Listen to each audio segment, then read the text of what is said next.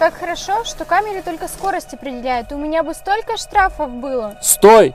Зря радуешься. Все поменялось. ГИБДД сообщает, что количество штрафов увеличивается, ведь новые камеры теперь могут определять до 60 нарушений. Комплексы замечают езду без ремней безопасности с выключенными фарами, разговоры по телефону за рулем, а также нарушение разметки, остановку в неположенных местах, пересечение островков безопасности и движение по трамвайным путям. Еще планируется штрафовать за отсутствие САГА, если автомобиль без страховки попал под камеру. Московские водители уже делятся новыми фотоснимками. Скоро это дойдет и до регионов. Как считаете, справедливо? Напишите в комментариях.